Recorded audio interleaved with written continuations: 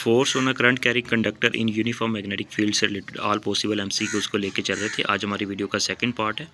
तो आज हम लेके चलेंगे सिक्स एम सी क्यूज़ से। The S I unit of magnetic conduction is magnetic conduction का यूनिट होता है tesla B is the right option next बात करते हैं question when a current carrying conductor is placed in uniform magnetic field the force experienced by the conductor is तो force का F equal to I L B sine alpha के equal होता है। तो यहाँ पे इस चीज़ के इक्वल होगा।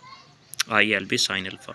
C is the right option question eight two parallel wires carrying the current in opposite direction very very important M C Qs opposite direction में पैरेलल वायर्स हैं अपोजिट डायरेक्शन में करंट फ्लो हो रहा है तो वो repel each other करेंगे। Is the right option question similarly इसी से related M C Qs two parallel wire carrying the current in same direction यहाँ पे सेम डायरेक्शन है तो अट्रैक्ट करेंगी, ठीक है? B is the right option question ten how a current carrying wire be placed to produce the resultant force is zero c is the right option parallel to the field question 11 1 tesla is equal to 10 की power 4 gauge के equal होता है ठीक है this is also unit of the magnetic field question 12 a current flow toward the reader is denoted by dot c is the right option question 3 a the unit of electric intensity newton per coulomb and the magnetic field b newton per ampere per meter. Then the unit of e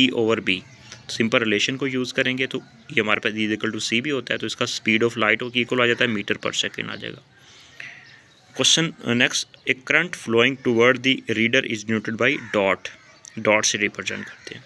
Question fifty A dot represent direction of magnetic field out of the page ये तो थे very most important M C Qs force on a current carrying conductor placed uniform magnetic field